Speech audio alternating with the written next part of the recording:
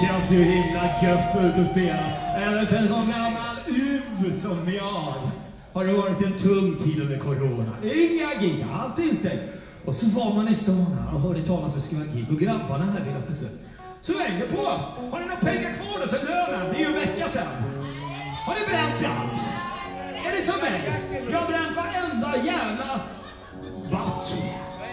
Jag får ett betalt i thailändska baht. Hafflepengar. Den där bjuder gärna friskt. det är sant. kom fram, fixa öl, öl, öl. Vi tar en som heter Kung Fridolf! Wow, wow, wow.